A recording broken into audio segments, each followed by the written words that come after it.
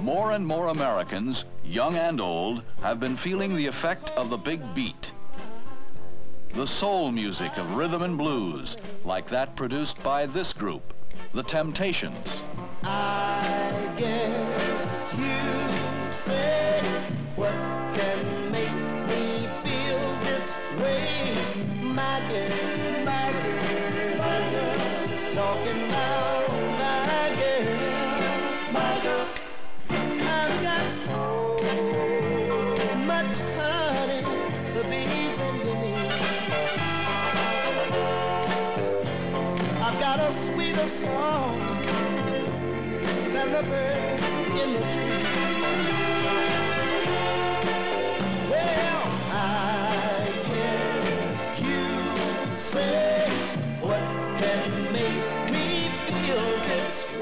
If the new sound of the 60s did not spring directly from the streets of Tin Pan Alley, its origins are no less legitimate.